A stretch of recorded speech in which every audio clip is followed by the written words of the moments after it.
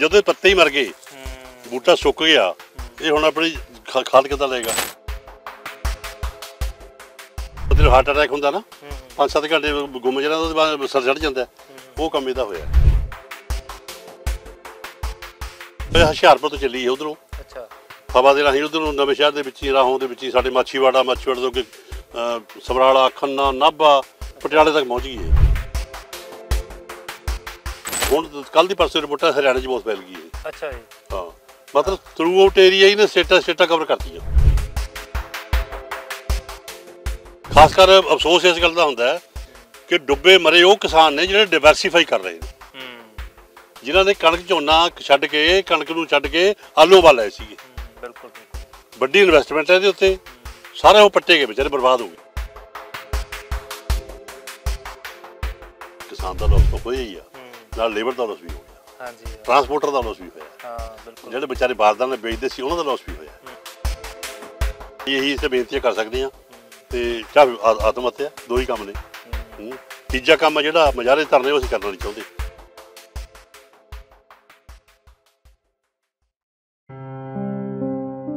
ਪੰਜਾਬ ਵਿੱਚ ਇਸ ਵਾਰ ਪਿਛਲੇ 50 ਸਾਲਾਂ ਦੇ ਇਤਿਹਾਸ ਵਿੱਚ ਆਲੂ ਉਤਪਾਦਕਾਂ ਨੂੰ ਸਭ ਤੋਂ ਵੱਡੀ ਮਾਰ ਪਈ ਏ।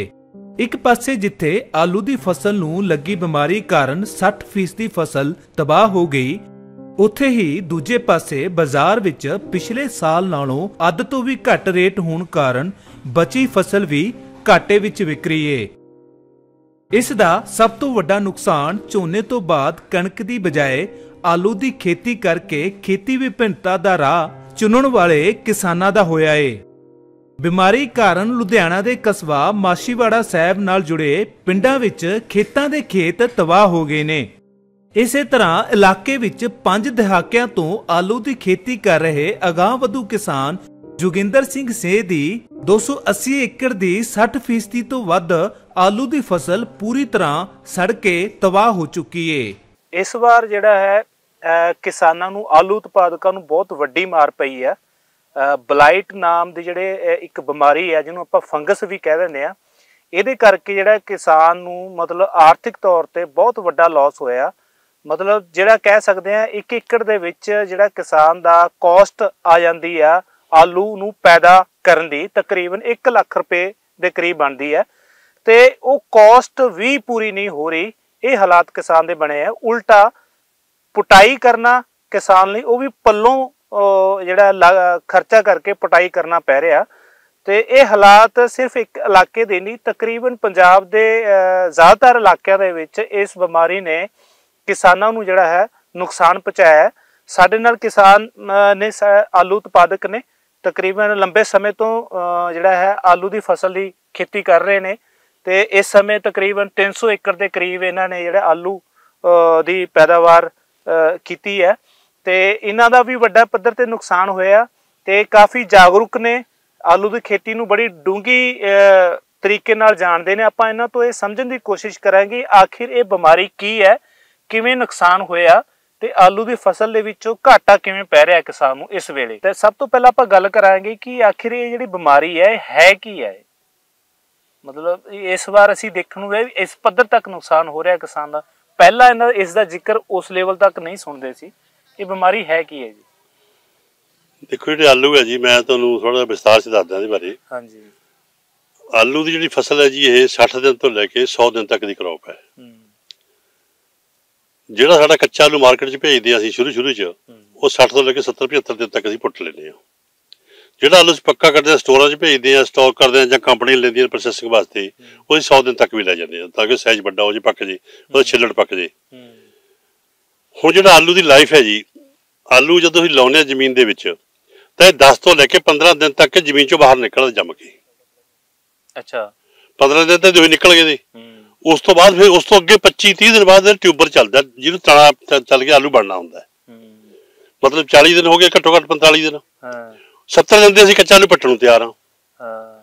25 ਦਿਨ ਦੇ ਵਿੱਚ ਆਲੂ ਦਾ ਝਾੜ ਅਸੀਂ 70 60 ਕੁਇੰਟਲ 65 ਕੁਇੰਟਲ ਲੈਣਾ ਚਾਹੁੰਦੇ ਹੂੰ। 125 ਤੋਂ 30 ਬੈਗ। ਹੂੰ। ਮਤਲਬ ਇਹ ਕਹਿ ਲਓ ਵੀ ਤੁਸੀਂ ਤਿੰਨ ਤੋਂ ਲੈ ਕੇ ਚਾਰ ਬੈਗ 24 ਘੰਟੇ ਦੇ ਵਿੱਚ ਗਰੋਥ ਲੈਂਦਾ, ਇਹਦੀ ਸਪੀਡ ਹੁੰਦੀ ਹੈ ਇਹਦੀ। ਬਹੁਤ ਜ਼ਬਰਦਸਤ ਸਪੀਡ ਹੁੰਦੀ ਹੈ ਇਹਦੀ। ਤੇ ਇਹ ਧੁੱਪ ਪੈਂਦੀ ਹੈ ਦਿਨੇ ਰਾਤ ਨੂੰ ਠੰਡ ਮਿੱਠੀ ਮਿੱਠੀ ਹੋ ਜਾਂਦੀ ਹੈ, ਮੌਸਮ ਵਧੀਆ ਹੁੰਦਾ ਤੇ ਇਹ ਧੁੱਪਾਂ ਦੇ ਵਿੱਚ ਫੋਟੋਸਿੰਥੈਸਿਸ ਕਰਿਆ ਲੈ ਕੇ ਖੁਰਾਕ ਜ਼ਮੀਨ ਚੋਂ ਲੈਂਦਾ ਰਹਿੰਦਾ ਤੇ ਗਰੋਥ ਹੁੰਦੀ ਰਹਿੰਦੀ ਹੈ ਇਹਦੀ। ਹੁਣ ਇਸ ਵਾਰ ਮਾਰ ਹੀ ਪਈ ਹੈ ਕਿ ਜਦੋਂ ਆਲੂ ਸਾਡਾ 40 ਤੋਂ ਲੈ ਕੇ 55 ਦਿਨ ਦੇ ਵਿੱਚ ਸੀਗਾ, ਭਰ ਜਵਾਨੀ ਚ ਟਿਊਬਰ ਵਾਲੇ ਬਣਿਆ ਸੀ ਛੋਟੀ ਸੇਜ ਦਾ ਸੀ ਜਿੱਦਾਂ ਤੁਸੀਂ ਮੈਂ ਤੁਹਾਨੂੰ ਦਿਖਾਉਣਾ ਬੂਟਾ ਪੱਟ ਕੇ ਆਹ। ਤੇ ਆਹ ਦੇਖੋ ਇਹ ਆਹ ਆਹ ਸਟੇਜ ਹੈ ਦੇਖੋ। ਹੁਣ ਇਹ ਸਟੇਜ ਹੈ ਜਿਹੜੀ ਇਹ ਬਹੁਤ ਛੋਟੇ ਸਾਈਜ਼ ਦਾ ਆਲੂ ਹੈ ਇਹ ਇਹ ਵੱਡਾ ਨਹੀਂ ਹੋਇਆ ਸੀਗਾ। ਅੱਛਾ ਜੀ। ਹਾਂ ਨਾ ਤਾਂ ਇਹ ਉਹਨੇ ਪ੍ਰੋਸੈਸਿੰਗ ਦੇ ਕੰਮ ਆ ਸਕਦਾ ਨਾ ਇਹ ਖਾਣ ਦੇ ਕੰਮ ਆ ਸਕਦਾ ਮੰਡੀ 'ਚ ਦਾ ਗਾਹਕ ਕੋਈ ਨਹੀਂ। ਕਿਉਂਕਿ ਇਹ ਇਹਦੀ ਉਮਰ ਕਿੰਨੀ ਹੈ? ਕਿੰਨੇ ਦਿਨਾਂ ਦਾ ਇਹ? ਇਹ 50 ਦਿੰਦਾ ਜੀ। 50 ਦਿਨ ਦਾ। 50 ਦਿਨ ਤੇ ਤੁਸੀਂ ਕਹਿੰਦੇ ਹੋ, ਇਹਦਾ ਸਾਈਜ਼ ਬਹੁਤ ਵੱਡਾ ਹੋ ਜਾਂਦਾ। ਨਾ- ਨਹੀਂ ਪੰ- 40 ਤੋਂ ਸ਼ੁਰੂ 40 ਦਿਨ ਤੋਂ ਬਾਅਦ ਸਾਈਜ਼ ਵੱਡਾ ਬਲਕਿ ਹੁਣ- ਸ਼ੁਰੂ ਹੋ ਜਾਂਦੀ ਹੈ। ਹਾਂ ਹਾਂ, ਪਰ ਉਸ ਮੁਤਾਬਕ ਸਾਈਜ਼ ਘੱਟ ਆ। ਹਾਂ ਸਾਈਜ਼ ਬਹੁਤ ਘੱਟ ਹੈ ਜੀ ਦੇਖੋ। ਕਿਉਂਕਿ ਜਿਹੜਾ ਪ੍ਰੋਸੈਸਿੰਗ ਇਹ ਵੈਰਾਈਟੀ ਜਿਹੜੀ ਪ੍ਰੋਸੈਸਿੰਗ ਵਾਲੀ ਵੈਰਾਈਟੀ ਆ। ਅੱਛਾ ਜੀ। ਇਹਦਾ ਚਿਪਸ ਬਣਦਾ ਜ਼ਿਆਦਾਤਰ। ਹਾਂਜੀ ਹਾਂਜੀ। ਹੁਣ ਚਿਪਸ ਕੰਪਨੀ ਦਾ ਆਪਣਾ ਸਟੈਂਡਰਡ ਹੈ ਇੱਕ। ਹਾਂਜੀ। ਉਹ 40 ਐਮਐਮ ਤੋਂ ਉੱਪਰ ਸਾਈਜ਼ ਦਾ ਆਲੂ ਲੈਂਦੇ ਨੇ ਚਿਪਸ। ਬਣਾਉਣ ਵਾਸਤੇ। 40 40 mm ਤੋਂ ਥੱਲੇ ਦਾ ਤੁਹਾਡੇ ਹੱਥ 'ਚ ਸਾਈਜ਼ ਆ ਜਿਹੜਾ ਆਲੂ ਸਾਰਾ? ਹਾਂ। ਆ ਦੇਖੋ ਆ 25 mm ਹੈ ਆ ਵੀ 25 ਹੈ ਆ ਤਾਂ 22 23 ਕੇ ਹਾਲੇ ਆ 30 32 ਹੋ ਗਿਆ। ਮਤਲਬ ਇਹ ਹਾਲੇ ਕੋਈ ਵੀ ਆਲੂ 40 mm ਦਾ ਹੋਇਆ ਨਹੀਂ ਇਹਦੇ ਵਿੱਚ। ਹੁਣ ਪ੍ਰੋਸੈਸਿੰਗ ਯੂਨਿਟ ਤੇ ਲੈਣ ਨੂੰ ਤਿਆਰ ਨਹੀਂ। ਮਾਰਕੀਟ ਦੇ ਵਿੱਚ ਇਹਨੂੰ ਛੋਟਾ ਸਾਈਜ਼ ਨੂੰ ਚੱਕਦੇ ਨਹੀਂ।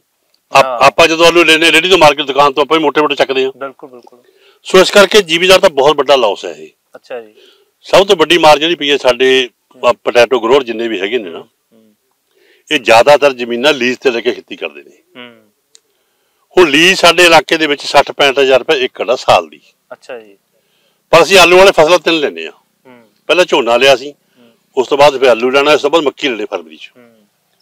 ਹੁਣ ਤਿੰਨ ਫਸਲਾਂ ਜਦੋਂ ਅਸੀਂ ਕੈਲਕੂਲੇਟ ਕਰਦੇ ਆ ਤਾਂ 20000 ਰੁਪਏ ਪਰ ਏਕੜ ਲੀਜ਼ ਬਣਦੀ ਆ। ਹੂੰ। ਹੁਣ 20000 ਤਾਂ ਦੀ ਲੀਜ਼ ਹੋ ਗਈ ਕਿੱਲੇ ਦੀ।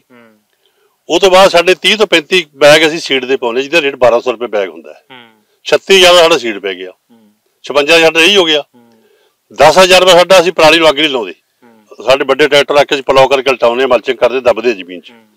10000 ਸਾਡਾ ਖਰਚਾ ਉਹ ਆ ਰਿਹਾ ਉਹ ਤੋਂ ਬਾਅਦ ਫਿਰ ਦਵਾਈ ਦਾ ਖਰਚਾ ਇਹਦਾ। ਫਿਰ ਖਾਦਾਂ 10000 ਦੀ ਖਾਦ ਉਸੇ ਪਹਿਲੇ ਦਿਨ ਪੈ ਜਾਂਦੀ ਆ। ਫਿਰ ਇਹਦੀ ਸਪਰੇਹਾਂ ਪਾਣੀ ਲਾਉਣਾ ਮੋਟਰ ਵੀ ਛੱਡਦੀ ਹੈ। ਸਾਰਾ ਕੁਝ ਕਰ ਕਰਾ ਕੇ ਨੌਕਰ ਦੀ ਤਨਖਾਹ ਪਾਣੀ ਲਾਉਣ ਵਾਲੇ ਦੀ। ਸਾਰਾ ਕੁਝ ਕਰ ਕਰਾ ਕੇ ਪੱਟਣ ਤੱਕ ਇਹਦਾ ਸਾਡਾ ਤਕਰੀਬਨ 1 ਲੱਖ ਰੁਪਏ ਕਿੱਲਾ ਖਰਚਾ ਆਉਂਦਾ ਹੈ। ਇਸ ਵਾਰ ਸਾਡਾ 10000 ਖਰਚਾ ਵੱਧ ਗਿਆ ਕਿਉਂਕਿ ਸਪਰੇਹਾਂ ਕਾ ਵੱਧ ਕਰਨੀ ਪਈ ਸਾਨੂੰ। ਹੁਣ ਪ੍ਰੋਬਲਮ ਇਹ ਆ ਗਈ ਕਿ ਲੱਖ ਰੁਪਇਆ ਫਾਰਮਰ ਦਾ ਖਰਚ ਹੋਇਆ ਹੋਇਆ ਆਲੂ ਨੂੰ ਵਿੱਚ ਵਾਹੁਣਾ ਪੈਣਾ ਹੈ। ਹੂੰ। ਜਾਂ ਉਹਨੂੰ ਸੁੱਟਣਾ ਪੈਣਾ ਪੱਟ ਕੇ। ਕਿਉਂਕਿ ਲੇਬਰ ਸਾਡੇ ਇੱਥੇ ਕੁਝ ਫਾਰਮਰ ਨੇ ਮੈਂ ਵੀ ਅਸੀਂ ਲੇਬਰ ਲੈਂਦੀ ਕਿ ਭਾਈ ਪੱਟ ਦੋ ਖੇਤ ਖਾਲੀ ਕਰਕੇ ਕਣਕ ਨੂੰ ਬੀਜ ਦਿੰਦੇ ਆ ਉਹਨਾਂ ਘੰਟਾ ਦੋ ਘੰਟਾ ਆਲੂ ਚੁੱਕਿਆ ਮਸ਼ੀਨ ਦੇ ਮਗਰ। ਕਹਿੰਦੇ ਜੀ ਸੱਤ ਨਹੀਂ ਕੰਮ ਹੋਣਾ ਇਸ ਤੇ ਚੱਲੇ ਘਰਾਂ ਨੂੰ। ਭਾਈ ਕਿਉਂ ਚੱਲੇ? ਕਹਿੰਦੇ ਜੀ ਸਾਡੇ ਦਿਹਾੜੀ ਨਹੀਂ ਬਣਦੀ। ਹੂੰ। 35 ਰੁਪਏ ਕੱਟਾ ਅਸੀਂ ਆਲੂ ਚੁੱਕਦੇ ਆ। ਸਾਤੇ ਦਿਹਾੜੀ ਤਿੰਨ ਕੱਟੇ ਚੁੱਕ ਹੋਏ ਨੇ। ਸਾਡੀ 90 ਰੁਪਏ ਦਿਹਾੜੀ ਬਣੀ। ਆ ਛੋਟਾ ਸਾਈਜ਼ ਹੈ ਬੋਰੀਆਂ ਭਰ ਰਹੀਆਂ ਉਹਦੀਆਂ। ਬੋਰੀਆਂ ਨਹੀਂ ਭਰ ਰਹੀਆਂ। ਹਾਂ ਉਹ ਵੀ ਛੱਡ ਕੇ ਚਲੇ ਗਏ। ਜ਼ਿਆਦਾ ਮਿਹਨਤ ਕਰਨੀ ਪੈ ਰਹੀ ਹੈ। ਹਾਂਜੀ। ਦੂਜਾ ਸਾਡੀ ਸਭ ਤੋਂ ਵੱਡੀ ਮਾਰ ਪਈ ਹੈ ਕਿ ਇਸ ਵਾਰ ਮਾਰਕੀਟ ਪੂਰੀ ਕ੍ਰੈਸ਼ ਕਰ ਗਈ। ਹੂੰ। ਮਾਰਕੀਟ ਪਿਛਲੇ ਸਾਲ ਪ੍ਰੋਸੈਸਿੰਗ ਯੂਨਿਟ ਨੇ ਜਿਹੜੇ ਸਾਡੇ ਪੰਜਾਬ ਦੇ ਜਾਂ ਬਾਹਰ ਹਰਿਦੁਆਰ ਵਗੈਰਾ ਕਲਕੱਤੇ ਵਗੈਰਾ ਜਿੱਥੇ ਮਾਲ ਜਾਂਦਾ ਸੀਗਾ ਪੈਪਸੀ ਵਗੈਰਾ ਨੂੰ। ਸਾਡਾ ਰੇਟ ਪਿਛਲੇ ਸਾਲ ਸਰਕਾਰ ਨੇ ਕੰਪਨੀਆਂ ਨੇ ਸ਼ੁਰੂ 'ਚ 27 ਰੁਪਏ ਕਿਲੋ ਖਰੀਦਿਆ ਸੀਗਾ। ਹੂੰ ਨਵੰਬਰ ਦੇ ਲਾਸਟ 'ਚ। ਫਿਰ ਦਸੰਬਰ ਜਾ ਕੇ 25 ਹੋ ਗਿਆ ਫਿਰ ਦਸੰਬਰ 15 ਨੂੰ ਆ ਕੇ 22 23 ਹੋ ਗਿਆ। ਫਿਰ ਦਸੰਬਰ 30 ਨੂੰ ਜਾ ਕੇ 20 ਹੋ ਗਿਆ। ਫਿਰ ਘਟਦਾ ਘਟਦਾ ਫਰਵਰੀ ਤੱਕ ਇਹ 11 ਰੁਪਏ ਤੇ ਆ ਗਏ 10 ਰੁਪਏ ਤੇ। ਅੱਛਾ ਜੀ। ਹੁਣ ਪ੍ਰੋਬਲਮ ਇਹ ਆ ਗਈ ਇਸ ਵਾਰ ਜਿਹੜਾ ਪਿਛਲੇ ਸਾਲ 23 ਰੁਪਏ ਕੰਪਨੀ ਚੱਕਦੀ ਹੈ ਨਾ ਇਸ ਡੇਟਾ ਨੂੰ ਅੱਜ ਕੰਪਨੀ 9 ਰੁਪਏ ਕਿਲੋ ਚੱਕ ਰਹੀ ਹੈ। ਬਿਲਕੁਲ ਇੱਕਦਮ ਹੀ ਅੱਧ ਤੋਂ ਇੱਕਦਮ ਘੱਟ ਥੱਲੇ ਗਿਆ। ਆ market, ਹਾਂ। ਅੱਛਾ ਮਾਰਕੀਟ 'ਚ ਵੀ ਕ੍ਰੈਸ਼ ਹੈ। ਹਾਂ। ਜਿਹੜਾ ਟੇਬਲ ਪੋਟੈਟੋ ਅਸੀਂ ਉਹਨੂੰ ਕਹਿੰਦੇ ਆ ਆਲੂ ਖਾਣ ਦੇ ਕੰਮ ਦਾ ਮੰਡੀ 'ਚ ਸਬਜ਼ੀ ਜਾਂਦਾ। ਉਹ ਆਲੂ ਪਿਛਲੇ ਸਾਲ 12 ਤੋਂ ਲੈ ਕੇ 16 ਰੁਪਏ ਕਿਲੋ ਤੱਕ ਮੰਡੀਆਂ 'ਚ ਸਾਡਾ ਵਿਕ ਰਿਹਾ ਸੀ। ਅੱਛਾ ਜੀ। 600 ਤੋਂ ਲੈ ਕੇ 700 750 ਚ ਕੱਟਾ ਵਿਕਦਾ ਸੀਗਾ 50 ਕਿਲੋ ਦਾ। ਇਸ ਵਾਰ ਉਹ ਵਿਕ ਰਿਹਾ 300 ਨੂੰ ਕੱਟਾ ਉਹ ਵੀ ਕਿੰਨਾ ਫ਼ਰਕ ਉਹ ਵੀ ਥੱਲੇ ਆ ਗਿਆ। ਉਹ ਵੀ ਥੱਲੇ ਆ ਗਿਆ। ਮਤਲਬ ਟੋਟਲ ਮਾਰਕੀਟ ਕ੍ਰੈਸ਼ ਕਰ ਗਈ। ਦੂਜੀ ਗੱਲ ਕਿਸਾਨ ਡੁੱਬ ਗਿਆ ਫਸਲ ਮਰ ਗਈ। ਮਤਲਬ ਹਰ ਪਾਸੇ ਬਰਬਾਦੀ ਨਜ਼ਰ ਹੋ ਗਈ ਕਿਸਾਨ ਦੀ। ਖਾਸ ਕਰ ਅਫਸੋਸ ਇਸ ਗੱਲ ਦਾ ਹੁੰਦਾ ਹੈ ਕਿ ਡੁੱਬੇ ਮਰੇ ਉਹ ਕਿਸਾਨ ਨੇ ਜਿਹੜੇ ਡਿਵਰਸੀਫਾਈ ਕਰ ਰਹੇ ਨੇ। ਜਿਨ੍ਹਾਂ ਨੇ ਕਣਕ ਝੋਨਾ ਛੱਡ ਕੇ ਕਣਕ ਨੂੰ ਛੱਡ ਕੇ ਆਲੂ ਵਾਲ ਸੀਗੇ। ਬਿਲਕੁਲ ਬਿਲਕੁਲ। ਵੱਡੀ ਇਨਵੈਸਟਮੈਂਟ ਹੈ ਇਹਦੇ ਉੱਤੇ ਸਾਰੇ ਉਹ ਪੱਟੇ ਗਏ ਵਿਚਾਰੇ ਬਰਬਾਦ ਹੋ ਗਏ। ਬਰਬਾਦ ਹੁਣ ਜਿਹਦੇ 100 ਕਿੱਲਾ ਲਿਆ ਕਰੋੜ ਦਾ ਇਨਵੈਸਟਮੈਂਟ ਹੋ ਗਈ। ਹੂੰ ਉਹਦੀ ਕਰੋੜ ਦੀ ਉਹ ਸਰਵਾਈਵ ਕਰ ਨਹੀਂ ਸਕਦਾ ਜੀ। ਚਾਹੇ ਅਗਲੇ ਸਾਲ ਕਿੰਨੇ ਆਲੂ ਤੇਜ਼ ਹੋ ਜਵੇ। ਹਾਂ ਬਿਲਕੁਲ ਉਹ ਸਰਵਾਈਵ ਨਹੀਂ ਕਰ ਸਕਦਾ। ਸਰਵਾਈਵ ਨਹੀਂ ਉੱਭਰ ਨਹੀਂ ਸਕਦਾ। ਉੱਭਰ ਹੀ ਜਾਂਦੇ ਮੁੜ ਕੇ ਉਹ ਹਾਂ। ਹਾਂ। ਉਹ ਲੱਖ ਟੁੱਟ ਜਾਊਗਾ। ਜਾਂ ਤਾਂ ਉਹ ਸਰਕਾਰ ਕੰਪਨਸੇਟ ਕਰੇ। ਥੋੜਾ ਬਹੁਤਾ ਮਦਦ ਜਾ ਕੇ ਅਗਲੀ ਫਸਲ ਬੀਜਣ ਜੋਗਾ ਵਿਚਾਰਾ ਹੋ ਜੇ ਉਹ। ਜਾਂ ਫਿਰ ਆਤਮ ਹੱਤਿਆ ਕਰੂਗਾ। ਹੋਰ ਤਾਂ ਹੱਲ ਹੀ ਕੋਈ ਨਹੀਂ ਉਹਦੇ ਕੋਲ। ਸੋ ਇਸ ਕਰਕੇ ਸਾਡੀ ਇਹ ਅਪੀਲ ਹੈ ਹਾਂਜੀ। ਸਰਕਾਰਾਂ ਨੂੰ ਵੀ ਕਿਸਾਨ ਦੀ ਬਾਹ ਫੜੋ। ਇੱਕ ਗੱਲ ਹੋਰ ਜਿਵੇਂ ਤੁਸੀਂ ਇਹ ਦੱਸਿਆ ਵੀ ਇਸ ਤਰ੍ਹਾਂ ਲਾਸ ਹੋ ਗਿਆ। ਹਾਂ। ਜਦੋਂ ਆਪਾਂ ਬਿਮਾਰੀ ਦੀ ਆਪਾਂ ਗੱਲ ਕਰਦੇ ਆ ਤੇ ਜਿਹੜੀ ਬਲਾਈਟ ਬਿਮਾਰੀ ਹੈ ਹਾਂ। ਬਲਾਈਟ ਬਿਮਾਰੀ ਆ ਤਾਂ ਇਹ ਪਹਿਲਾਂ ਵੀ ਇਹ ਹੁੰਦੀ ਸੀ। ਮਤਲਬ ਇਹ ਕੋਈ ਪਹਿਲੀ ਨਵੀਂ ਨਹੀਂ ਹੈਗੀ। ਬਿਲਕੁਲ। ਹਨਾ ਜੀ ਇਹ ਫੰਗਸ ਹੀ ਹੈ ਇੱਕ ਤਰ੍ਹਾਂ ਦੀ। ਹੈ। ਹਾਂ ਪਹਿਲਾਂ ਵੀ ਹੁੰਦੀ ਸੀ। ਤੇ ਇਸ ਵਾਰ ਐਡੀ ਮਾਰ ਕਿਵੇਂ ਪਈ? ਮੈਂ ਤੁਹਾਨੂੰ ਦੱਸਦਾ ਗੱਲ। ਹੂੰ। ਇਸ ਵਾਰ ਮੌਸਮ ਦੀ ਫਲਕਚੁਏਸ਼ਨ ਬਹੁਤ ਜ਼ਿਆਦਾ ਆ। ਹੂੰ। ਰਾਤ ਨੂੰ ਟੈਂਪਰੇਚਰ 6-7 ਆ ਜਾਂਦਾ ਹੈ। ਦਿਨੇ ਟੈਂਪਰੇਚਰ 27 ਤੇ ਪਹੁੰਚ ਜਾਂਦਾ ਹੈ ਹੂੰ। 26-27 ਤੇ। ਇੰਨਾ ਅਪ ਡਾਊਨ ਹੁੰਦਾ ਹੈ ਉਹ ਜਿਵੇਂ ਨਾ ਬੰਦਾ ਆਪਾਂ ਕਹਿੰਦੇ ਗਰਮ ਸਰਦ ਹੋ ਗਿਆ ਉਹ ਚੀਜ਼ ਹੋ ਗਈ। ਹੁਣ ਤੁਹਾਨੂੰ ਮੈਂ ਦਿਖਾਉਣਾ ਹੈ ਤੇ ਅੱਜ ਦਾ ਤੁਸੀਂ ਹਿਊਮਿਡਿਟੀ ਦੇਖੋ ਇਹਦੀ ਕੀ ਹੈ। ਇਹ ਜਿਹੜੀ ਵੈਰਾਈਟੀ ਹੈ ਇਹ ਹਿਊਮਿਡਿਟੀ ਬਹੁਤ ਕਾਊਂਟ ਕਰਦੀ ਹੈ ਆਲੂ। ਦੇਖੋ ਅੱਜ ਹੁਣ ਇਸ ਟਾਈਮ 61 ਹੈ 61% ਹਿਊਮਿਡਿਟੀ ਹੈ ਵੈਦਰ ਦੇ ਵਿੱਚ। ਹਾਂ ਜਿਵੇਂ ਅਸੀਂ ਮੋਬਾਈਲ ਤੇ ਦੇਖ ਰਹੇ ਹਾਂ ਚੈੱਕ ਕਰ ਰਹੇ ਹਾਂ ਹਾਂ 61% ਹੈ। ਇੱਥੇ ਹੈ ਨਾ ਹਾਂ ਰਾਤ ਨੂੰ 100% ਹੋ ਜਾਂਦੀ ਹੈ। 61% ਹੈ ਰਾਤ ਨੂੰ। 100% ਹੋ ਜਾਂਦੀ ਹੈ ਹਾਂ। ਕਿਉਂਕਿ ਰਾਤਾਂ ਲੰਬੀਆਂ ਨੇ। ਜਗ੍ਹਾ ਠੰਡ ਵਿੱਚ ਚੱਲ ਕੇ ਧੁੰਦ ਆ ਜਾਂਦੀ ਆ। ਧੁੱਪ ਨਿਕਲਦੀ ਨਹੀਂ। ਉਹ ਹੋਰ ਮਤਲਬ ਹੁਮ- ਹੁਮਸ ਵੱਧਦੀ ਰਹਿੰਦੀ ਹੈ ਧਰਤੀ ਵਿੱਚ। ਫੰਗਸ ਪੈਦਾ ਹੁੰਦੀ ਰਹਿੰਦੀ ਆ। ਧੁੱਪ ਕਿਉਂ ਫੰਗਸ ਤਾਂ ਠੰਡੇ ਥਾਂ ਤੇ ਗਿੱਲੇ ਥਾਂ ਹੋਣਾ। ਠੰਡੇ ਦੇ ਗਿਲੇ ਤਾਂ ਹੁੰਦਾ ਹਾਂ ਤੇ ਉਹ ਦਿਨੇ ਫਿਰ ਧੁੱਪ ਪੈਂਦੀ ਹੈ ਫਿਰ ਹੌਲੀ ਹਿਊਮਿਡਿਟੀ ਘਟਦੀ ਘਟਦੀ ਘਟਦੀ ਹੁਣ 61 ਤੇ ਆ ਗਈ। ਹਾਂ। ਔਰ 60 ਤੋਂ 65 ਤੋਂ ਉੱਪਰ ਜਦੋਂ ਹੋਊਗੀ ਹਿਊਮਿਡਿਟੀ ਤਾਂ ਉਹਦੇ ਫੰਗਸ ਪੈਦਾ ਹੋਣਾ ਜ਼ਮੀਨ ਦੇ ਵਿੱਚ। ਤਾਂ ਫਿਰ ਇਹ ਤਾਂ ਐਟਮੋਸਫੀਅਰ ਹਾਂ ਬਿਲਕੁਲ ਹੀ ਫੰਗਸ ਆ ਹਾਂ ਗਿਆ ਐਟਮੋਸਫੀਅਰ ਫੰਗਸ ਵਾਲਾ ਹੋ ਗਿਆ ਇਸ ਵਾਰ ਜਿਹਦੇ ਕਰਕੇ ਪੈ ਗਈ ਇਹ। ਅੱਛਾ ਤੇ ਹੁਣ- ਰਾਤ ਨੂੰ ਕਿੰਨਾ ਚਾਹੀਦਾ ਹੁੰਦਾ? ਰਾਤ ਨੂੰ ਟੈਂਪਰੇਚਰ ਸਾਨੂੰ ਚਾਹੀਦਾ 8 9 10 11 ਤੱਕ ਹੋਵੇ। ਹਾਂ ਤੇ ਹਿਊਮਿਡਿਟੀ ਕਿੰਨੀ ਚਾਹੀਦੀ ਹੈ? ਹਿਊਮਿਡਿਟੀ ਸਾਨੂੰ ਚਾਹੀਦੀ ਹੈ ਤਕਰੀਬਨ ਰਾਤ ਨੂੰ 65 70 ਹੋ ਜੇ ਦਿਨੇ 40 45 50 70 ਤੇ ਆ ਜੇ। ਹੂੰ। ਜਿਹੜੇ ਰਾਤ 50 ਦੇ ਨੂੰ ਵੀ 50 ਦੇ 75 ਦੇ ਵਿੱਚ ਘੁੰਮਦੀ ਰਹੇ। 45 ਦੇ 75 ਦੇ ਵਿੱਚ। ਘੁੰਮ ਘੁੰਮਦੇ ਰਹੇ। ਰਾਤ ਨੂੰ ਵੀ ਹੁਣ ਵੱਧ ਫਿਰਦੀ ਆ 65 ਤੋਂ ਲੈ ਕੇ 100 ਤੱਕ। 100 ਤੱਕ ਹਾਂ। ਉਹ ਸਾਰਾ ਸਿਸਟਮ ਉਲਟ ਹੋ ਗਿਆ। ਯਾਨੀ ਇਹਦੀ ਜਿਹੜੀ ਫੰਗਸ ਨੂੰ ਫੈਲਣ ਇਹ ਮੌਸਮ ਫੰਗਸ ਫੇਵਰੇਬਲ ਹੈ। ਫੇਵਰੇਬਲ ਹੈ ਹਾਂ। ਫੰਗਸ ਦੇ ਹਾਂ। ਫੇਵਰ ਇੱਕ ਤਰ੍ਹਾਂ ਜਿਹੜਾ ਬਲਾਈਟ ਰੋਗ ਹੈ ਫੰਗਸ ਹੈ। ਹਾਂ। ਤੇ ਇਹ ਜਿਹੜਾ ਮੌਸਮ ਉਹਦੇ ਲਈ ਸਾਜ਼ਗਾਰ ਬਣਿਆ ਹੋਇਆ ਦੇਖੋ ਦੋ ਤਿੰਨ ਦਿਨ ਧੁੱਪ ਪਈ ਪੱਛਮ ਦੀ ਠੰਡੀ ਹਵਾ ਚੱਲਦੀ ਰਹੀ। ਹਾਂ। ਆਉਂਦੀ ਰਹੀ ਇਧਰ ਕਸ਼ਮੀਰ ਤੋਂ ਠੰਡੀ ਹਵਾ ਆਉਂਦੀ ਰਹੀ ਪੰਜਾਬ 'ਚ। ਹਾਂ। ਬੜਾ ਵਧੀਆ ਬਹੁਤ ਵੈਦਰ ਹੋ ਗਿਆ। ਅੱਜ ਫੇਰ ਪੂਰਾ ਚੱਲਣ ਲੱਗ ਗਿਆ ਉਧਰੋਂ। ਇੱਕ ਤਾਂ ਫੇਰ ਹੁਮਸ ਹੋ ਗਿਆ। ਫਿਰ ਹਿਊਮਿਡਿਟੀ ਹੋ ਗਈ। ਇਹ ਜਿਹੜਾ ਵੈਦਰ ਦਾ ਅਪਡੇਟ ਹੈ ਇਹ ਖਰਾਬ ਕਰਦਾ ਇਹਨੂੰ ਬਹੁਤ। ਅੱਛਾ। ਹਾਂ। ਤੇ ਹੁਣ ਤੁਸੀਂ ਦੇਖੋ ਜਿਵੇਂ ਆਪਾਂ ਪੌਦੇ ਆ ਦੇਖ ਰਹੇ ਆ ਤੁਸੀਂ ਹਾਂ, ਕਿਵੇਂ ਨੁਕਸਾਨ ਕੀਤਾ ਫੰਗਸ ਨੇ ਇਹਨੂੰ ਇਹ ਦੇਖੋ ਨੇ? ਇਹਦਾ ਕਿਉਂਕਿ ਦੇਖੋ ਪੱਤਾ ਜਿਹੜਾ ਇਹ ਧੁੱਪ ਹਵਾ ਦੇ ਵਿੱਚੋਂ ਲੈਂਦਾ ਆਕਸੀਜਨ ਵੀ ਲੈਣੀ ਹੈ ਧੁੱਪ ਵੀ ਲੈਣੀ ਹੈ ਇਹ ਪੱਤਿਆਂ ਦੇ ਫੋਟੋਸਿੰਥੇਸਿਸ ਕਿਰਿਆ ਕਰਦਾ ਹੈ ਰਿਐਕਸ਼ਨ ਕਰਦਾ ਹੈ ਉਹਦੇ ਨਾਲ ਖਰਾਕ ਖਾਂਦੇ ਰੂਟਸ ਜ਼ਮੀਨ ਚੋਂ ਖਰਾਕ ਲੈਂਦਾ ਹੈ। ਬਿਲਕੁਲ। ਜਦੋਂ ਇਹ ਪੱਤੇ ਹੀ ਮਰ ਗਏ ਬੂਟਾ ਸੁੱਕ ਗਿਆ ਇਹ ਹੁਣ ਆਪਣੀ ਖਾਦ ਕਿੱਦਾਂ ਲਏਗਾ? ਖਰਾਕ ਮਿਲੂਗਾ ਇਹ ਇਹ ਬਿਮਾਰੀ ਦੇ ਵਿੱਚ ਪੱਤੇ ਸੁੱਕਣ ਲੱਗਦੇ ਨੇ ਪਹਿਲਾਂ। ਹਾਂ ਪਹਿਲਾਂ ਪੱਤਾ ਸੁੱਕਦਾ ਜੀ ਫੰਗਸ ਪੈਂਦੀ ਇਹਨੂੰ। ਹਾਂ ਥੋੜੇ ਥੋੜੇ ਸਵੇਰੇ ਜਦੋਂ ਅਸੀਂ ਉੱਠ ਕੇ ਦੇਖਦੇ ਹਾਂ ਸੱਜਰੇ ਤਾਂ ਬਲਾਈਟ ਵਾਲੇ ਪੱਤਾ ਜਿਹੜਾ ਹੁੰਦਾ ਸਾਈਡਾਂ ਤੋਂ ਉਹ ਕਾਲਾ ਹੋ ਜਾਂਦਾ ਹੈ ਹੂੰ। ਉਹਨੂੰ ਉੱਲੀ ਪੈ ਜਾਂਦੀ ਹੈ ਇਹ ਜਿਵੇਂ ਜਿਵੇਂ ਆ ਦੇਖੋ ਆ ਆ ਪੱਤਾ ਜਿਵੇਂ ਆ ਸੁੱਕ ਰਿਹਾ ਵਿੱਚੋਂ। ਜਿਵੇਂ ਆ ਪੱਤਾ ਦੇਖੋ ਆ ਦੇਖੋ। ਇਹ ਸਾਈਡਾਂ ਤੋਂ ਪਹਿਲਾਂ ਉੱਲੀ ਪੈ ਸੁੱਕਿਆ ਇਹ ਹੂੰ। ਆ ਥੋੜਾ ਜਿਹਾ ਰਹਿ ਗਿਆ ਵੀ ਸੁੱਕ ਜਾਣਾ ਇਹ ਹੂੰ, ਇਸ ਤਰ੍ਹਾਂ ਹੁੰਦਾ ਇਹਨੂੰ ਫੰਗਸ ਪੈਂਦੀ ਆ। ਅੱਛਾ। ਤੇ ਚਿੱਟੇ ਰੰਗ ਦੀ ਉੱਲੀ ਜੀ ਹੁੰਦੀ ਆ ਉਹ। ਹਾਂ ਹਾਂ। ਉਹ ਫਿਰ ਠੰਡੇ ਮੌਸਮ 'ਚ ਰਾਤ ਨੂੰ ਉਸ ਪੇ ਦੀ ਬੜੀ ਫੈਲਦੀ ਆ ਉਹ। ਅੱਛਾ। ਹਾਂ। ਇਹ ਜਦੋਂ ਬਲਾਈਟ ਇੱਕ ਇਹੋ ਜਿਹੀ ਬਿਮਾਰੀ ਹੈ ਜੀ ਇਹ ਲੇਟ ਵੇਟ ਕਹਿੰਦੇ ਅਸੀਂ ਇਹਨੂੰ। ਲੇਟ ਤੋਂ ਭਾਵ ਜਦੋਂ ਆਲੂ ਟਿਊਬਰ ਬਣਦਾ ਲੇਟ ਹੁੰਦਾ ਥੋੜਾ ਜਿਹਾ ਉਮਰ ਦਾ ਹੋ ਜਾਂਦਾ ਉਦੋਂ ਪੈਂਦੀ ਹੈ ਇਹ। ਅੱਛਾ ਉਦੋਂ ਪੈਂਦੀ ਹੈ ਇਹ ਕਰਲੀ ਬਲਾਈਟ ਹੁੰਦੀ ਆ। ਹਾਂਜੀ। ਉਹ ਜੰਮਦੀ ਸਾਰੇ ਬੂਟੇ ਨੂੰ ਪੈਣ ਲੱਗ ਜਾਂਦੀ ਆ। ਹਾਂਜੀ। ਮੌਸਮ 'ਚ ਹਾਂ। ਹੁਣ ਇਸ ਇਸ ਵਾਰ ਕੀ ਹੋਇਆ ਹੁਸ਼ਿਆਰਪੁਰ ਤੋਂ ਚੱਲੀ ਹੈ ਉਧਰੋਂ। ਅੱਛਾ। ਹਵਾ ਦੇ ਰਾਹੀਂ ਉਧਰੋਂ ਨਵੇਂ ਸ਼ਹਿਰ ਦੇ ਵਿੱਚ ਹੀ ਰਾਹੋਂ ਦੇ ਵਿੱਚ ਹੀ ਸਾਡੇ ਮਾਛੀਵਾੜਾ ਮਾਛੀਵਾੜਾ ਤੋਂ ਸਮਰਾਲਾ ਖੰਨਾ ਨਾਭਾ ਪਟਿਆਲੇ ਤੱਕ ਪਹੁੰਚ ਗਈ ਇਹ। ਯਾਨੀ ਇਹ ਲਾਗ ਦੀ ਬਿਮਾਰੀ ਇਹ ਹਵਾ ਨੂੰ ਬੈ- ਬੈਸ ਤੋਂ ਹਵਾ ਤੋਂ ਵਾਇਰਸ ਫੰਗਸ ਵਾਇਰਸ ਆ ਗਿਆ। ਫੰਗਸ ਤੁਰਦੀ ਅੱਗੇ। ਅੱਗੇ ਤੁਰਦੀ ਹੈ ਹਾਂ। ਤੇ ਹੁਣ ਕੱਲ ਦੀ ਪਰਸੋਂ ਰਿਪੋਰਟਾਂ ਹਰਿਆਣਾ 'ਚ ਬਹੁਤ ਫੈਲ ਗਈ ਇਹ। ਅੱਛਾ ਜੀ। ਹਾਂ। ਮਤਲਬ ਥਰੂ ਆਊਟ ਏਰੀਆ ਹੀ ਨੇ ਸਟੇਟਾ ਸਟੇਟਾ ਕਵਰ ਕਰਤੀਆਂ ਹੂੰ। ਨਹੀਂ ਜਦੋਂ ਤੁਸੀਂ ਦੱਸਿਆ ਵੀ ਫੰਗਸ ਪੈਣ ਲੱਗਦੀ ਆ ਤਾਂ ਉਦੋਂ ਸ਼ੁਰੂ ਚ ਨਹੀਂ ਆਪਾਂ ਇਹਨੂੰ ਫੜ ਸਕਦੇ ਵੀ ਇਹ ਤੇ ਛਿੜਕਾ ਹਾਂ, ਕਰਕੇ ਜਾਂ ਕੀਤਾ ਕੋਈ ਹੈ। ਕਰ ਸਕਦੇ। ਸਰਕਾਰ ਜੀ ਸਾਨੂੰ ਯੂਨੀਵਰਸਿਟੀ ਪੀਏਯੂ ਦੀ ਰეკਮੈਂਡੇਸ਼ਨ ਹੈ ਜਿਹੜੀ ਦਵਾਈਆਂ ਦੇ ਜਿਵੇਂ 45 ਜਾਂ ਕਾਰਬਨ ਡਾਈਆਕਸਾਈਡ ਅਸੀਂ ਯੂਜ਼ ਕਰਦੇ ਰਹੇ ਹਾਂ। ਹਾਂ। ਲੇਕਿਨ ਉਹਦਾ ਕੰਟਰੋਲ ਨਹੀਂ ਹੋਈ। ਉਹ ਤੋਂ ਬਾਅਦ ਸਾਨੂੰ ਫਿਰ ਜਿਹੜੀ ਦੂਜੀਆਂ ਵੱਡੀਆਂ ਮਹਿੰਗੀਆਂ ਦਵਾਈਆਂ ਦੇ ਸਿਸਟਮ ਹੈ ਕੰਟੈਕਟੋ ਪਾਉਣੀਆਂ ਪੈ ਗਈਆਂ ਹੂੰ ਹੁਣ ਜਿਹੜੀ ਮਹਿੰਗੀ ਦਵਾਈ ਹੈ ਤੇਜ਼ ਦਵਾਈ ਹੈ ਉਹ ਵੀ ਇਹ ਤੇ ਮਾੜਾ ਅਸਰ ਕਰਦੀ ਹੈ। ਇਹਦੀ ਗਰੋਥ ਰੋਕ ਦਿੰਦੀ ਆ ਉਹ। ਅੱਛਾ। ਜਿਵੇਂ ਬੰਦਾ ਇੱਕ ਬਿਮਾਰ ਹੁੰਦਾ ਹਾਂਜੀ ਹਾਂ। ਆਪਾਂ ਨੂੰ ਹਲਕੀ ਜਿਹੀ ਗੋਲੀ ਦੇ ਕੇ ਕਹਿੰਦੇ ਉਹਦੇ ਕਰੋਸਿਲ ਲੈ ਕੇ ਪੈ ਜਾ ਠੀਕ ਹੈ। ਹਾਂਜੀ। ਜੇ ਨਹੀਂ ਠੀਕ ਹੈ ਬਗਲ ਡੋਲੋ ਖਾ ਲੈ ਹੁਣ ਤੂੰ। ਹੂੰ ਬਿਲਕੁਲ। ਆਪਾਂ ਫਿਰ ਹੌਸਲੇ ਆਕਸੀਜਨ ਤੇ ਲੈ ਆਉਂਦੇ ਆ। ਹੋਰ ਤੇਜ਼ ਦਵਾਈਆਂ ਦਿੰਦੇ ਆ ਉਹਨੂੰ। ਹੂੰ ਬਿਲਕੁਲ। ਅਖੀਰ ਜਿਉਂ ਜਿਉਂ ਆਪਾਂ ਤੇਜ਼ ਦਵਾਈਆਂ ਦੇਵਾਂਗੇ ਚਾਹੇ ਬੰਦਾ ਚਾਹੇ ਕੋਈ ਫਸਲ ਹੂੰ। ਉਹਦੀ ਨਾਲ ਉਹਦੀ ਬੋਡੀ ਦੀ ਰੈਸਿਸਟੈਂਸ ਪਾਵਰ ਘਟ ਜਾਣੀ ਹਾਂ ਬਿਲਕੁਲ। ਬੋਡੀ ਟੋਲਰੈਂਸ ਪਾਵਰ ਘਟ ਜਾਣੀ ਆ। ਹੁਣ ਜਿਹੜੀਆਂ ਦਵਾਈਆਂ ਵੱਧ ਕੀਤੀਆਂ ਅਸੀਂ ਹੂੰ ਉਹਨਾਂ ਵੱਧ ਬੂਟਾ ਬਿਮਾਰ ਹੋਇਆ। ਉਦੋਂ ਬਾਅਦ ਕਮਜ਼ੋਰ ਹੋ ਜਾਂਦਾ ਉਹ। ਹਾਂ, ਇੱਕ ਹੋਰ ਬਿਮਾਰੀ ਦਾ ਤੀ ਉੱਪਰ ਤੇਜ਼ ਦਵਾਈਆਂ ਦੇਤੀਆਂ ਸੀ ਉਹਨੂੰ। ਹਾਂ ਹਾਂ ਹਾਂ। ਹੈ ਉਹ ਵਿਚਾਰਾ ਕੀ ਕਰੂਗਾ? ਉਹਦੀ ਗਰੋਥ ਰੁਕੀ ਉੱਥੀ। ਯਾਨੀ ਬਿਮਾਰੀ ਦਾ ਪ੍ਰਕੋਪ ਹੀ ਇੰਨਾ ਜ਼ਿਆਦਾ ਪ੍ਰਕੋਪ ਜ਼ਿਆਦਾ ਸੀ ਇਸ ਵਾਰ ਬਹੁਤ। ਜ਼ਿਆਦਾ ਸੀ ਤੇ ਉਹ ਦਵਾਈਆਂ ਕੁਝ ਨਹੀਂ ਹਾਂ ਕਰਦੀਆਂ। ਆਉਂਦੀ ਪਿਛਲੇ ਸਾਲਾਂ 'ਚ ਵੀ ਰਹੀ ਹੈ ਇਹ। ਹਾਂ ਹਾਂ। ਪਰ ਕੰਟਰੋਲ ਹੋ ਜਾਂਦੀ ਸੀ। ਤੁਸੀਂ ਲੰਬੇ ਟਾਈਮ ਤੋਂ ਕਰਦੇ ਰਹੇ ਹੋ ਮੈਂ ਤਾਂ ਤਕਰੀਬਨ 50 ਸਾਲ ਤੋਂ ਕਰ ਰਿਹਾ ਜੀ। 50 ਸਾਲ ਤੋਂ। ਹਾਂ। ਤੇ ਹੁਣ ਜਿਵੇਂ ਇਸ ਲੈਵਲ ਦਾ ਪ੍ਰਕੋਪ ਆ ਹੁਣ ਤਾਂ ਇਹ ਇਸ ਤੋਂ ਪਹਿਲਾਂ ਕਿਦੋਂ ਦੇਖਣ ਨੂੰ ਮਿਲਿਆ ਸੀ ਪਹਿਲਾਂ 97 ਵਿੱਚ ਵੀ ਕਾਫੀ ਅਟੈਕ ਹੋਇਆ ਸੀ ਇੱਕ ਵਾਰ 82 ਦਾ ਸੀ ਬਹੁਤ ਹੋ ਗਿਆ ਸੀਗਾ। ਤੇ ਲੇਕਿਨ ਕੰਟਰੋਲ ਹੁੰਦਾ ਰਿਹਾ। ਕੰਟਰੋਲ ਹੁੰਦਾ ਰਿਹਾ। ਹਾਂ। ਪਰ ਇਸ ਵਾਰ 20% ਕੰਟਰੋਲ ਹੀ ਨਹੀਂ ਹੋਇਆ। 20% ਲਾਸ ਹੋ ਗਿਆ 30% ਹੋ ਗਿਆ ਕਿਤੇ 25 ਵੀ ਹੋ ਗਿਆ ਕਿਤੇ 40 ਵੀ ਕਿਸੇ ਜ਼ਿਮੀਦਾਰ ਦਾ ਹੋ ਗਿਆ ਹੋਊਗਾ। ਇਸ ਵਾਰ ਤਾਂ 60% ਤੇ ਪਹੁੰਚੀ ਗੱਲ। ਯਾਨੀ 50 ਸਾਲ ਦੇ ਤੁਹਾਡੇ ਮਤਲਬ ਤਜਰਬੇ 'ਚ ਇਹ ਪਹਿਲੀ ਵਾਰ ਹੋਇਆ? ਬਿਲਕੁਲ ਵੱਡਾ ਲਾਸ ਹੋਇਆ ਹੈ। ਹਾਰਟੀਕਲਚਰ ਡਿਪਾਰਟਮੈਂਟ ਆ ਯੂਨੀਵਰਸਿਟੀ ਆ ਜਿਹੜੇ ਇਹਨੂੰ ਡੀਲ ਕਰਦੇ ਨੇ। ਉਹਨਾਂ ਨਾਲ ਸੰਪਰਕ ਕੀਤਾ ਉਹਨਾਂ ਪਹਿਲਾਂ ਐਡਵਾਈਜ਼ਰੀ ਜਾਰੀ ਕੀਤੀ ਹੈ ਜੀ ਮੌਸਮ ਖਰਾਬ ਹੈ ਮੰਮੇ ਦੇ ਚਾਂਸਸ ਨੇ ਬਲਾਈਟ ਦੇ। ਅੱਛਾ। ਪੀਜੂ ਨੂੰ ਐਡਵਾਈਜ਼ਰੀ ਜਾਰੀ ਕੀਤੀ ਹੈ। ਹਾਂ। ਲੇਕਿਨ ਪੀਏਯੂ ਵਿੱਚ ਐਡਵਾਈਜ਼ਰੀ ਜਾਰੀ ਕਰਕੇ ਦੱਸ ਸਕਦੀ ਹੈ ਪ੍ਰੀਕਾਸ਼ਨ ਪ੍ਰੀਕਾਸ਼ਨ ਲੇਕਿਨ ਰੋਕ ਨਹੀਂ ਸਕਦੀ ਇਹਨੂੰ। ਰੋਕ ਨਹੀਂ ਸਕਦੇ। ਹਾਂ। ਤੇ ਉਹ ਉਹਨਾਂ ਨਾਲ ਗੱਲ ਕੀਤੀ ਕੋਈ ਰੋਕਣ ਦਾ ਕੋਈ ਹੋਰ ਜ਼ਰੀਆ ਹੋਵੇ ਜਾਂ ਕਿਸ ਤਰ੍ਹਾਂ ਦਾ? ਇਹ ਤਾਂ ਜੀ ਜਦੋਂ ਦੋ ਦਿਨ ਚ ਖੇਤ ਸਾਫ਼ ਕਰ ਗਈ ਫਿਰ ਵੀ ਕੀ ਕਰੋਗੇ ਰੋਕ ਕੇ? ਹੂੰ ਅੱਛਾ। ਇੰਨੀ ਤੇਜ਼ੀ ਨਾਲ। ਜਿੱਦਾਂ ਜਿੱਦਾਂ ਬੰਦੇ ਨੂੰ ਹਾਰਟ ਅਟੈਕ ਹੁੰਦਾ ਨਾ ਹੂੰ 5-7 ਘੰਟੇ ਗੁੰਮ ਜਾਣਾ ਉਹਦੇ ਬਾਅਦ ਸਰ ਚੜ ਜਾਂਦਾ। ਉਹ ਕੰਮ ਇਹਦਾ ਹੋਇਆ। ਅੱਛਾ ਜੀ। ਦੋ ਦਿਨ ਤਿੰਨ ਦਿਨ ਦੇ ਵਿੱਚ ਸਾਰਾ ਕੰਮ ਕਰ ਗਈ ਹੈ ਇਹ ਆਲੂ ਦੀ ਕੋਈ ਵੈਰਾਈਟੀਆਂ ਵੀ ਹੋਣਗੀਆਂ ਇਸ ਤਰ੍ਹਾਂ ਜਿਹੜੀ ਇਹਦੇ ਲਈ ਇਹ ਚੱਲ ਸਕਦੀਆਂ ਹੋਣੇ ਹਾਂ ਹੈਗੀ ਜੀ ਵੈਰਾਈਟੀ ਇੱਕ ਦੋ। ਜਿੱਦਾਂ ਡਾਇਮੰਡ ਡਾਇਮੰਡ ਵੈਰਾਈਟੀ ਦੇਖੀ ਸੀ ਜੋ ਖੜੀ ਉਹ ਠੀਕ ਖੜੀ ਹਾਲੇ। ਕਈ ਜਗ੍ਹਾ ਪੁਖਰਾਜ ਪੁਖਰਾਜ ਵੀ ਠੀਕ ਖੜਾ ਹੈ। ਤੇ ਪਰ ਇਹ ਜਿਹੜੀ ਵੈਰਾਈਟੀ ਆਹ ਐਲ ਆਰ ਇਹਨੂੰ ਸਰ ਜ਼ਿਆਦਾ ਅਟੈਕ ਹੋਇਆ ਇਹਨੂੰ ਜ਼ਿਆਦਾ ਕੰਪਨੀਆਂ ਲਾਈਕ ਕਰਦੀਆਂ ਨੇ ਪ੍ਰੋਸੈਸਿੰਗ ਵਾਸਤੇ। ਹੂੰ। ਚਿਪਸ ਜ਼ਿਆਦਾ ਮੋਸਟਲੀ 80% ਚਿਪਸ ਇਹਦੇ ਹੀ ਬਣਦਾ। ਇਹਦਾ ਬਣਦਾ। ਕਿਸਾਨ ਦਾ ਲਾਲਚ ਹੁੰਦਾ ਵੀ ਇਹ ਲਾਈਏ। ਇਹ ਲਾਈਏ ਹਾਂ। ਚਾਰ ਪੈਸੇ ਬਚ ਜਾਣਗੇ। ਹਾਂਜੀ ਹਾਂ। ਕਿਉਂਕਿ ਵੈਰਾਈਟੀ ਡਿਊਰੇਬਿਲਟੀ ਜ਼ਿਆਦਾ ਹੈ ਸਟੋਰੇਜ ਕੈਪੈਸਿਟੀ ਜ਼ਿਆਦਾ ਹੈ। ਇਹ ਰੋਟ 'ਚ ਘੱਟ ਹੁੰਦਾ ਸਟੋਰੇਜ ਗਲਦਾ ਘੱਟ ਹੈ।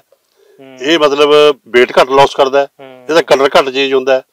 ਇਸ ਕਰਕੇ ਜ਼ਿਮੀਦਾਰ ਇਸ ਵੈਰਾਈਟੀ ਤੇ ਜ਼ੋਰ ਵੱਧ ਦਿੰਦਾ ਹੈ। ਵੱਧ ਦਿੰਦਾ ਹੈ। ਵੈਸੇ ਇਹਦੀ ਮਾਰਕੀਟ ਵੈਲਿਊ ਉਹਨਾਂ ਦੇ ਜ਼ਿਆਦਾ ਜ਼ਿਆਦਾ ਹੈ। ਹਾਂ। ਤਾਂ ਇੱਧਰ ਆਉਂਦਾ ਆ।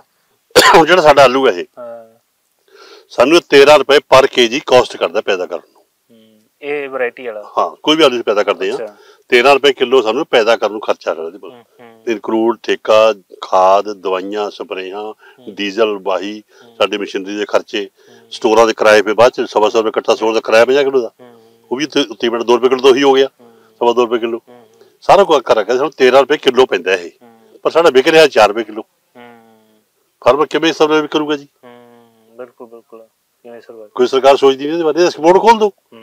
ਪਾਕਿਸਤਾਨ ਚੱਲ 45 ਰੁਪਏ 40 ਰੁਪਏ ਕਿਲੋ ਵਿਕ ਰਿਹਾ। ਇਸ ਟਾਈਮ ਹਾਂਜੀ। ਅੱਛਾ। ਐਕਸਪੋਰਟ ਖੋਲ ਦੋ। ਹਾਂ। ਅਸੀਂ ਹੁਣ ਵੀ ਬੇਨਤੀ ਕਰਦੇ ਸਰਕਾਰ ਨੂੰ ਐਕਸਪੋਰਟ ਖੋਲੋ। ਹਾਂ। ਤਾਂ ਕਿ ਜਿਹੜਾ ਕਿਸਾਨ ਮਾੜਾ ਮੋਟਾ ਨੂੰ ਬਚ ਗਿਆ ਪਿੱਛੇ ਉਹ ਤਾਂ ਚੰਗੇ ਭਾਅ ਵੇਚ ਲੂਗਾ। ਹਾਂ ਬਿਲਕੁਲ ਬਿਲਕੁਲ। ਹੈ? ਕਿਸਾਨ ਵੀ ਰੋਟੀ ਖਾਂਦਾ ਰਹਿ ਜੂਗਾ ਨਾ। ਹਾਂ ਜੋ ਐਕਸਪੋਰਟ ਖੋਲਣਗੇ ਤਾਂ ਰੇਟ ਵਧੂਗਾ ਕਿਸਾਨ ਨੂੰ ਫਾਇਦਾ ਹੋਊਗਾ। ਇੱਥੋਂ ਦੀ ਵੀ ਮਾਰਕੀਟ ਜਿਹੜੀ ਘੱਟ ਵਿਕ ਰਿਹਾ ਉਹ ਵੀ ਵਧੂਗੀ। ਸਰਕਾਰ ਨੇ ਐਕਸਪੋਰਟ ਦੇ ਬੈਨ ਕੀਤਾ ਹੋਵੇ ਦੱਸੋ। ਮੈਨੂੰ ਸਮਝ ਨਹੀਂ ਆਉਂਦੀ ਗੱਲ ਦੀ ਕਿਉਂ ਬੈਨ ਹੈ? ਪਰ ਜਿਵੇਂ ਇੱਕ ਗੱਲ ਮੈਨੂੰ ਸਮਝ ਨਹੀਂ ਆ ਰਹੀ ਜਿਵੇਂ ਹੁਣ ਮਾਰਕੀਟ ਦੇ ਵਿੱਚ ਇਸ ਸਮੇਂ ਆਲੂ ਦੀ ਮਤਲਬ ਸਪਲਾਈ ਘੱਟ ਆ ਬਿਮਾਰੀ ਹੋਣ ਕਰਕੇ ਘੱਟ ਰਹਿਣੀ ਹੈ ਸਪਲਾਈ। ਤਾਂ ਇਸ ਹਿਸਾਬ ਨਾਲ ਜਿਹੜਾ ਰੇਟ ਵਧਣਾ ਚਾਹੀਦਾ ਕੰਪਨੀ ਵਾਲੇ ਨੇ ਕਿਉਂ ਘੱਟ ਰੇਟ ਕੱਢਿਆ ਇਸ ਵਾਰ ਪਿਛਲੇ ਸਾਲ? ਕੰਪਨੀ ਵਾਲਿਆਂ ਨੂੰ ਜੀ ਇਹ ਨਜ਼ਰ ਆਉਂਦਾ ਸੀਗਾ ਫਸਲ ਵੱਧ ਲੱਗੀ ਇਸ ਵਾਰ। ਅੱਛਾ। ਕੁਛ ਉਹਨਾਂ ਨੇ ਗੁਜਰਾਤ ਤੋਂ ਆਲੂ ਖਰੀਦ ਕੇ ਰੱਖ ਲਏ ਸਟੋਰਾਂ 'ਚ। ਅੱਛਾ। ਵੀ ਸਾਡੇ ਪ੍ਰੋਸੈਸਿੰਗ ਯੂਨਿਟ ਅਸੀਂ ਦਸੰਬਰ ਤੱਕ ਜਿੰਦਾ ਜੇਕਰ ਚਲਾਈ ਜਾਣੇ ਨੇ। ਸਾਨੂੰ ਨਵੇਂ ਆਲੂ ਦੀ ਮਾਰਕੀਟ ਕਿਉਂ ਅਸੀਂ ਮਹਿੰਗਾ ਖਰੀਦਾਂਗੇ 22 ਰੁਪਏ ਕਿਲੋ। ਲੇਕਿਨ ਹੁਣ ਕੰਮ ਇਹ ਲੱਗਦਾ ਮੈਨੂੰ ਉਲਟ ਹੋ ਗਿਆ। ਫਸਲ ਕ੍ਰੌਪ ਡੈਮੇਜ ਹੋ ਗਈ। ਹੁਣ ਹੋ ਸਕਦਾ ਇਹ ਤੇਜ਼ ਵੀ ਹੋ ਜਾਵੇ। ਹਾਂ ਤੇਜ਼ ਵੀ ਹੋ ਸਕਦਾ। ਇਹਦੇ ਪਰ ਉਹ ਤੇਜ਼ ਹੋਣ ਦਾ ਤੁਹਾਨੂੰ ਨਹੀਂ ਸਾਨੂੰ ਨਹੀਂ। ਸਾਡੀ ਫਸਲ ਖਤਮ ਹੋ ਗਈ। ਫਸਲ ਖਤਮ ਹੋ ਗਈ ਸਾਈਜ਼ ਨਹੀਂ ਹੈ ਉਹਨਾਂ ਦੇ ਅਕੋਰਡਿੰਗ। ਹੈ ਨਹੀਂ ਹੈ। ਇਸ ਕਰਕੇ ਇਹ ਜਿਹੜੀ ਸਿਸਟਮ ਹੈ ਨਾ ਬੜਾ ਕ੍ਰੈਸ਼ ਜਿਹਾ ਹੋ ਗਿਆ। ਇਹ ਸਾਡੇ ਸਮਝ ਤੋਂ ਬਾਹਰ ਹੈ ਕੀ ਬਣੂਗਾ ਇਹਦਾ। ਪਰ ਫਾਰਮਰ ਜ਼ਰੂਰ ਡੁੱਬ ਗਿਆ। ਹੂੰ। ਫਿਰ ਇਲਾਕੇ ਦੇ ਵਿੱਚ ਲੋਕ ਬਾਹਰ ਆਏ ਹੁਣੇ। ਬਹੁਤ ਬੁਰਾ ਹਾਲ ਹੈ ਜੀ ਬਹੁਤ ਬੁਰਾ ਹਾਲ ਹੈ। ਕਿਸਾਨਾਂ ਦਾ ਦੁੱਖ ਝੱਲਿਆ ਜਾਂਦਾ ਰੋਂਦੇ ਤਾਂ ਮਾਰੋ ਵਿਚਾਰੇ। ਕਿਸੇ ਨੇ ਆੜਤੀ ਤੇ ਪੈਸਾ ਫੜਿਆ ਹੈ। ਹੁਣ ਜਿੰਨੀਆਂ 10000 ਦੀ ਦਵਾਈ ਕਿੱਲੇ 'ਚ ਪਈ ਹੈ ਸਭ ਉਧਾਰ ਹੈ ਜੀ ਦੁਕਾਨਾਂ ਤੋਂ। ਜਦ ਤੱਕ ਅਸੀਂ ਆਲੂ ਬਚੂਗਾ ਪੱਟ ਕੇ ਦੇ ਦਾਂਗੇ ਦੁਕਾਨਦਾਰ ਨੂੰ। ਹੁਣ ਦੁਕਾਨਦਾਰ ਨੇ ਪੈਸੇ ਮੰਗਣੇ ਆਲੂ ਖਤਮ ਹੋ ਗਿਆ। ਖੋ ਆਲੂ ਦੀ ਫਸਲ ਮਰਨ ਦੇ ਨਾਲ ਕਿਸਾਨ ਦਾ ਲਾਸ ਤਾਂ ਹੋਇਆ ਹੀ ਆ। ਨਾਲ ਲੇਬਰ ਦਾ ਲਾਸ ਵੀ ਹੋ ਗਿਆ। ਹਾਂਜੀ। ਟਰਾਂਸਪੋਰਟਰ ਦਾ ਲਾਸ ਵੀ ਹੋਇਆ। ਹਾਂ ਬਿਲਕੁਲ। ਜਿਹੜੇ ਵਿਚਾਰੇ ਬਾਰਦਾਂ ਨੇ ਵੇਚਦੇ ਸੀ ਉਹਨਾਂ ਦਾ ਲਾਸ ਵੀ ਹੋਇਆ। ਹੂੰ। ਪ੍ਰੋਸੈਸਿੰਗ ਦਾ ਲਾਸ ਵੀ ਹੋਣਾ ਜੇ ਮਾਲ ਨਹੀਂ ਮਿਲਣਾ ਉਹਨਾਂ ਨੂੰ। ਹੈ?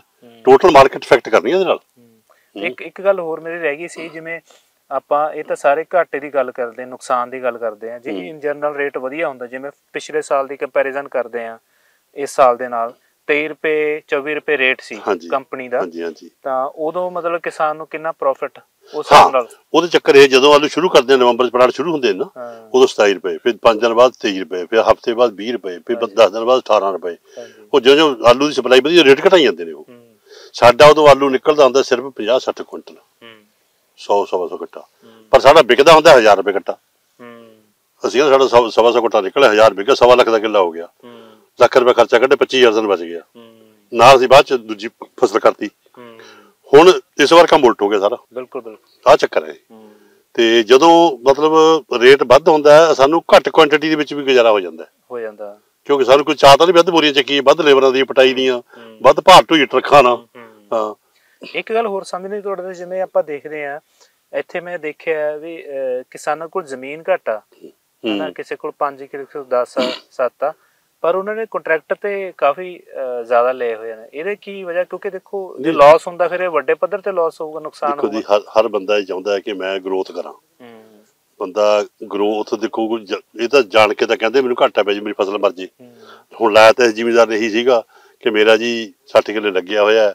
ਜੇ ਮੇਰਾ 60 ਕੁਇੰਟਲ ਵੀ ਨਿਕਲੇ ਸਵਾ ਸੌ ਕੱਟਾ ਹੋ ਗਿਆ ਸਵਾ ਲੱਖ ਦਾ ਕਿੱਲਾ ਹੋ ਜਾਣਾ। ਹੈ।